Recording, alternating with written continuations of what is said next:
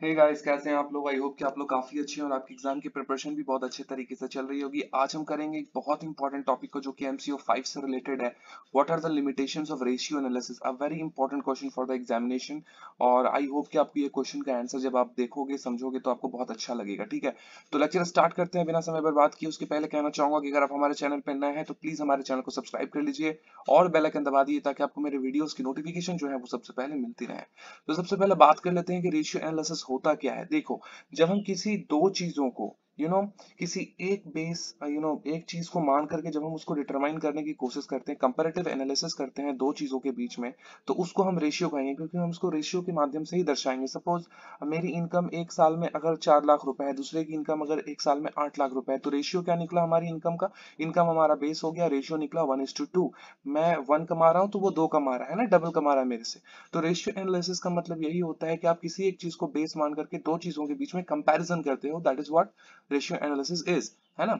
Now let's talk talk about its limitations अगर हम ratio analysis करते हैं तो उसकी क्या क्या लिमिटेशंस है क्या क्या उनकी बाधाएँ हैं हम एक एक करके बात करेंगे ठीक है? तो सबसे पहला पॉइंट आप अपने स्क्रीन पे देख पा रहे हो you should be aware that many companies operate in more than one industry take for instance companies like land uh, land t hll pand g etc which does not operate in uh, in only one business segment but in diversified businesses. So care should be taken to ensure this, that uh, segment level ratio are compared. यहाँ पे जो बात बोली गई वो ये है कि जैसा कि आपको ऑलरेडी पता है कि बहुत सारी कंपनीज़ जो होती हैं, जो कि सिर्फ़ एक इंडस्ट्री में काम नहीं कर रही होती, बहुत सारी इंडस्ट्रीज़ में काम कर रही होती है। यहाँ पे एग्ज़ाम्पल दिया हुआ है एल एन टी का, यहाँ पे एग्ज़ाम्पल दिया, मैं ठीक तरीके से लिखा हुआ नहीं है बट ये एल एन टी है, ठीक है? L N T Larsen and turbo H L L का आपने नाम सुना होगा पी एन जी का आपने नाम सुना होगा। पी एन जी जिसके बहुत सारे शैम्पूज आते हैं, हमें पता नहीं रहता बट बहुत सारी यू नो प्रोडक्ट्स हैं इन सारे कंपनीज़ के, अगर आप ठीक से ध्यान दोगे प्रोडक्ट के पीछे तो आपको पता चलेगा। तो इनका जो इंडस्ट्री है, वो डिफरेंट डिफरेंट है ना? वो इस किसी एक चीज़ में काम नहीं कर रहे हैं। तो इसका मतलब ये हो गया कि इनका जो जो जो सेगमेंट है वो बहुत ही डाइवर्सिफाइड इनका जो बिज़नेस है वो बहुत ही डाइवर्सिफाइड है। सो इन दैट केस आपको क्या करना होता है? आपको जो है हर एक सेगमेंट लेवल को, हर एक सेगमेंट लेवल का जो रेशियो होता है, उसको इंडिविजुअली आपको जो है यू नो कंपेयर करने की ज़रूरत होती है। नहीं तो आपको ठीक से जो है जानकारी आपको पता नहीं चल पाएगी। राइट तो ये पहला पॉइंट हो गया। दूसरा पॉइंट यहाँ पे बोला जा रहा है कि inflation has distorted balance sheets in the sense that financial statements do not account for inflation which implies that they do not represent the real picture of the scenario यहाँ पे इन्फ्लेशन की बात की जा रही है। आपको शायद पता नहीं होगा बट इन्फ्लेशन को एक साइलेंट किलर बोला जाता है हमारी इनकम का।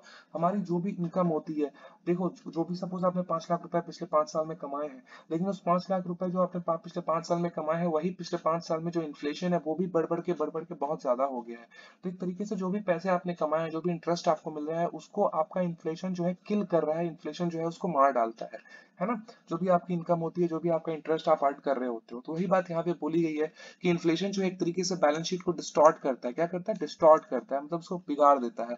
In this sense that financial statement do not account for inflation और इसी कारण जो फाइनेंशियल स्टेटमेंट होते हैं उसमें हमें इन्फ्लेशन का पता नहीं चल पाता क्योंकि हम वहाँ पे सिर्फ़ you you know know, accounts को मेजर कर रहे होते हैं अकाउंट्स के जो अमाउंट्स होते हैं उनको लिख रहे होते हैं लेकिन इन्फ्लेशन का उसके ऊपर क्या असर पड़ता है उसके ऊपर हम कभी ध्यान नहीं देते है ना? जैसे कि मैं एक छोटा सा एग्जांपल अगर आपको दूँ तो एक टाइम पे जो जमीनें हुआ करती थी वो तकरीबन यू नो हज़ार दो दो, दो हज़ार रुपए कट्ठा भी बिकती थी लेकिन अभी के टाइम पे अगर जमीनों की बात करो तो आप तीन चार लाख पाँच लाख दस लाख रुपए कट्ठा तक बिकती है तो ऐसा क्यों हुआ है? इसलिए नहीं कि दाम दाम जो है ऑटोमेटिक बढ़ेगी इसलिए क्योंकि इन्फ्लेशन बढ़ा है लोगों का खर्च बढ़ा है। लोगों का इनकम धीरे धीरे बढ़ रहा है और खर्च जो है कुछ ज़्यादा ही स्पीड से बढ़ रहा है। तो जिसके कारण से प्राइसेस का इंक्रीज होना लाइक एक आम बात हो गई अभी के टाइम पे। तो इन्फ्लेशन एक बहुत ही बड़ा रीजन है, जिसके कारण से रेशियो एनालिसिस जो है ठीक तरीके से काम नहीं कर पाता। However not so high inflation it would not affect the analysis much लेकिन अगर इन्फ्लेशन बहुत ज़्यादा हाई नहीं हो तो ये एनालिसिस को एक तरीके से बहुत ज़्यादा नुकसान नहीं पहुंचाता। बट हाँ inflation is a kind of thing which you know distort the ratio analysis of balance sheet है ना? तीसरा पॉइंट हम कर लेते हैं seasonal factors can greatly influence ratios जो सीजनल फैक्टर्स होते हैं, वो भी रेशियो को बहुत ज़्यादा इन्फ्लुएंस कर सकते हैं. Hence you should make sure that you control the seasonal differences अब आपको ये मेक श्योर sure करना पड़ेगा कि आप जो सीजनल डिफरेंसेस आप उसको कंट्रोल करो. कैसे करो? देखते हैं. Better would be to perform the ratio analysis on a quarterly basis to get the complete picture for the whole year तो इसमें एक ही तरीका है कि आप अपने जो जो आपका साल है, उसको आप तीन भाग में, चार भाग में बांट दो. क्वार्टरली आप कर दो. तीन तीन महीने का जो है आपको अपना रेशियो रेशियो एनालिसिस का जो बैलेंस शीट है, वो आपको तैयार करना चाहिए। आपको एक साल का अगर आप होल्ड करोगे तो सीजनल जो चेंजेस हो रही हैं, जो सीजनल डिफरेंसेस हैं, आप उसको एक तरीके से अकाउंट में नहीं ले पाओगे। और ये तभी पॉसिबल है जब आप तीन महीने का आपका अपना जो है यू नो स्टैंड रखोगे और प्रॉफिट को निकालने की कोशिश करोगे। जैसा कि आपको पता है कि अभी के टाइम पे जो बड़ी बड़ी कंपनीज़ हैं, उनका क्वार्टरली रिज़ल्ट आता है तीन तीन महीने में उनका रिज़ल्ट आता है। है ना? एक ईयरली तो होता ही है बट क्वार्टरली भी होता है तो वो करना बहुत इंपॉर्टेंट है, अगर आप रेशियो एनालिसिस को बचाना चाहते हो with the effect of seasonal factors है ना? तो रेशियो एनालिसिस का ये एक और लिमिटेशन हो गया। चौथा पॉइंट है with the kind of accounting scams breaking every day अभी हाल ही में आपको पता चला होगा कि एस सहित तकरीबन 11 से 12 बैंकों में एजीबी नाम की एक कंपनी थी, जो कि गुजरात की कंपनी है, उसने तकरीबन बाईस करोड़ रुपए का घोटाला कर दिया है है ना? तो यहाँ पे वही बात बोली जा रही है कि जिस तरह के अकाउंटिंग स्कैम्स अभी निकल करके आ रहे हैं day by day it is not unusual to find the window dressing could have been done ये पता लगाना मुश्किल नहीं होगा कि विंडो ड्रेसिंग की जाती है, चीज़ों को बढ़ा चढ़ा कर दिखाया जाता है और उसके बदले पैसे ऐंठे जाते हैं और बाद में जाकर के पैसे जो है जब बर्बाद हो जाते हैं तो पता चलता है कि कंपनी तो एक शेल कंपनी है। कंपनी एक्चुअल में एग्जिस्ट ही नहीं करती है, सिर्फ़ पेपर के ऊपर ये कंपनी है। है ना? Through small investors have no control on this very little chance to get to know about the creative accounting that is taking place one should not however lose sight into any sort of discrepancies in the accounting वही बात यहाँ पे बोली गई जो small investors होते हैं, उनका इन सब चीज़ों के ऊपर बहुत ज़्यादा कंट्रोल नहीं होता उनको तो बस पैसे अपने इन्वेस्ट करने होते हैं है ना? तो वो इन सब चीज़ों के ऊपर बहुत ज़्यादा ध्यान नहीं देते हैं। लेकिन जब भी आप ऐसा कोई चीज़ कर रहे हो, है ना तो आपको बहुत ध्यान देने की ज़रूरत है। You know you should not however lose sight आपको आप किसी भी तरह का साइड जो है खोने की ज़रूरत नहीं जब आप अकाउंटिंग डिस्क्रिपेंसीज की बात करते हो। डिस्क्रिपेंसीज का मतलब होता है कि आपके अकाउंटिंग स्टेटमेंट में कुछ गलतियाँ हैं, कुछ ऊपर नीचे हो रहा है, इधर एक लाख है तो उधर दो लाख, उधर डेढ़ लाख है। तो ये जो मिसमैच होता है, इसको हम डिस्क्रिपेंसी कहते हैं। तो इस तरह की चीज़ों के ऊपर भी आपको ध्यान देना बहुत ज़्यादा इंपॉर्टेंट है। Whenever you are talking about the ratio analysis है ना? क्योंकि यही एक तरीके से लिमिटेशंस भी बन जाते हैं रेशियो एनालिसिस का। पांचवा पॉइंट है it is quite possible that different companies with industry may use different accounting practices which which would make it difficult to compare the two companies है ना? तो ये डिफरेंट कंपनीज़ होती हैं, देखो वो हो सकता है different accounting techniques different accounting practices का इस्तेमाल करें, जिसके कारण से आपके लिए पॉसिबल नहीं होता, हो पाता कि आप दो कंपनीज़ के बीच में यू नो कंपैरिजन कर पाओ। तो in that case ratio analysis एक तरीके का यहाँ पे जो है इसका लिमिटेशन है। In this situation it should not be it should be made that sure that the changes are accounted for and made for that it would not affect the analysis. तो यहाँ पे एक तरह का सिचुएशन क्रिएट करना पड़ेगा, एक तरह का माहौल आपको बनाना होगा कि ये जो सारी चीज़ें हैं, है ना, जो कि अकाउंटिंग प्रैक्टिसेस हैं, उसके कारण से जो डिफरेंसेस पैदा हो रही हैं, उसको आपको यू नो एनालिसिस के ऊपर अफेक्ट नहीं होने देना है। तो उस चीज़ को करने के लिए भी आपको बहुत सारे मेजर्स जो है लेने पड़ेंगे। छठा नंबर पॉइंट हम कर लेते हैं। It could it could also be possible that different companies may use different physical years ये भी पॉसिबल है डेफिनेटली कोई कैलेंडर ईयर मेंटेन कर रहा है, कोई यू नो जो कोई फाइनेंशियल ईयर मेंटेन कर रहा है, किसी का फ़िज़िकल ईयर दूसरे किस्म का है, किसी का फ़िज़िकल ईयर दूसरे किस्म का है तो यहाँ पे कंपनीज़ जो है डिफरेंट डिफरेंट फ़िज़िकल ईयर्स का इस्तेमाल करती है। फ़िज़िकल मतलब आपका जो साल होगा ना फ़िज़िकल ईयर मतलब जो भी आपका सरप्लस या डेफिसिट का बेस होगा, आप उसको यहाँ पे फ़िज़िकल ईयर बोलते हो। Say for instance one company may use the calendar year as its account closing while the other company may use the physical year physical मतलब आपका फाइनेंशियल ईयर है ना? In that process, care should be taken to compare the respective months or years adjusting for the differences in the counting year. तो जब भी आप ऐसा करते हो तो आपको ध्यान देने की ज़रूरत पड़ती है कि जब भी आप कंपेयर कर रहे हो तो आप जो रिस्पेक्टिव मंथ्स है आप उनके बीच में कंपैरिजन करो। आप अगर जनवरी का कंपैरिजन मार्च से करोगे तो दिक्कत होगी। आपको जनवरी का कंपैरिजन जनवरी से ही करना पड़ेगा है ना? तो ये बहुत इंपॉर्टेंट है इन सब चीज़ों को ध्यान देना।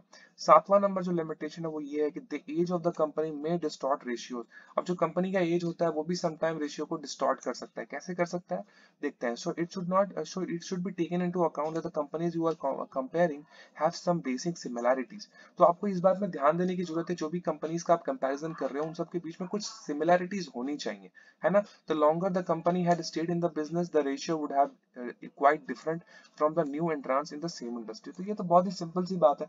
कोई पुरानी कंपनी है, काफ़ी सालों से काम कर रही हो तो उनका रेशियो डिफरेंट ही होगा, क्योंकि वहाँ पे लोग खरीद रहे होंगे सामानों को। जो नई कंपनी है, वहाँ पे लोगों को भरोसा जल्दी नहीं होता तो वहाँ पे लोग कम खरीदते हैं तो वहाँ का रेशियो डिफरेंट होगा।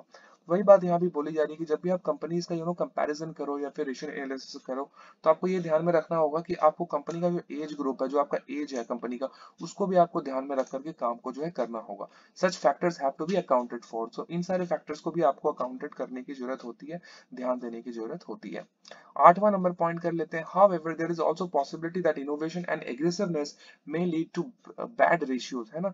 तो जब आप यू नो पॉसिबिलिटी बहुत ज़्यादा हो जाती है जब आप इनोवेशन और एग्रेसिवनेस uh, बहुत ज़्यादा इस्तेमाल करते हो तो वहाँ पे बैड रेशियोज होने के भी बहुत ज़्यादा चांसेस होते हैं। So one should not blindly depend on the numeric ratio figures तो आपको एक तरीके से अंधा बन करके जो है किसी भी न्यूमेरिक रेशियो फिगर के ऊपर ध्यान देने की ज़रूरत नहीं होती है। आपको समटाइम्स लॉजिकली और रीजनेबली सोचना होता है। But try to understand why the company has bad ratios in a particular year तो आपको इस चीज़ में बहुत ही ध्यानपूर्वक ये सोचने की ज़रूरत पड़ती है कि किसी भी कंपनी का यू नो अगर बैड रेशियो है तो वो क्यों है? क्योंकि अगर आप इस चीज़ के ऊपर ध्यान नहीं दोगे तो जो भी आपका कंक्लूजन होगा, जो भी आपका निष्कर्ष होगा, हो सकता है वो गलत निकले, क्योंकि आप ठीक तरीके से उसको जज नहीं कर पा रहे हो, है ना? तो ये भी एक इश्यू हो जाती है रेशियो एनालिसिस में। नौवा नंबर जो पॉइंट है there could also be possibility that the benchmark used for analysing the ratios may not be appropriate तो ये तो बहुत ही कॉमन सा इशू है मुझे, मेरे ख्याल से रेशियो एनालिसिस में। जब भी आप अपना बेस ईयर चेंज करोगे, जब भी आप अपना बेंचमार्क चेंज करोगे तो आपका देखना रेशियो चेंज हो जाएगा। है ना? तो अपने बेंचमार्क को चेक करना, अपने बेस को चेक करना बहुत इंपॉर्टेंट होता है, क्योंकि अगर आप गलत अगर आप बेंचमार्क का इस्तेमाल कर लोगे तो आपका जो रेशियो है, वो भी अप्रोप्रिएट नहीं आ पाएगा।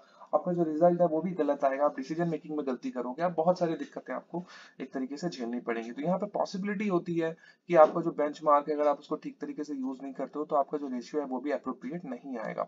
The industry average may not be an appropriate desirable target ratio है ना? तो जो इंडस्ट्री एवरेज होता है, किसी भी इंडस्ट्री का, उसको अगर आप बेस मान करके अगर आप रेशियो निकालने की कोशिश कर रहे हो, आप अपना डिजायरेबल टारगेट रेशियो निकालने की कोशिश कर रहे हो तो वहाँ पे आपको जो है निराशा हाथ लगेगी, क्योंकि आप वहाँ पे यू नो इंडस्ट्री का एवरेज निकालते हो, जबकि हर एक कंपनी एक दूसरे से अलग अलग होती है। एज ग्रुप यहाँ पे एक फैक्टर है फ़िज़िकल ईयर यहाँ पे फैक्टर है, बहुत सारे फैक्टर्स है है ना?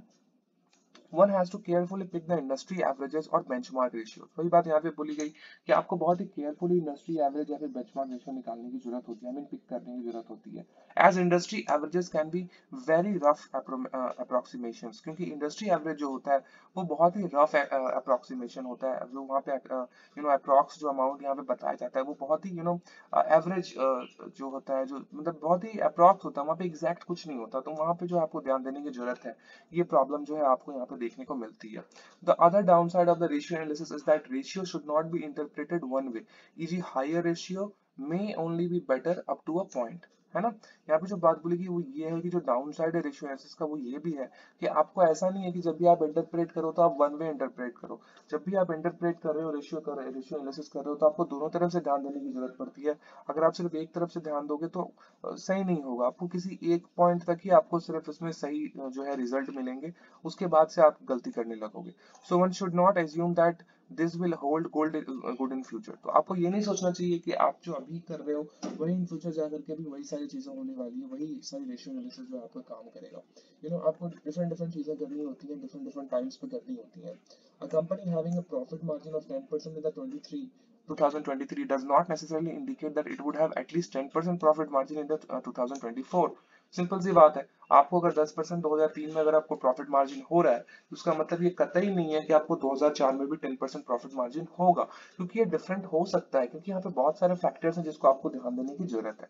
So these are the limitations of ratio I hope कि आपको ये वीडियो काफ़ी पसंद आया होगा। पसंद आया भाई तो प्लीज़ लाइक कमेंट और शेयर करो। मिलते हैं अगले वीडियो में। अपना ख्याल रखो। Bye thank you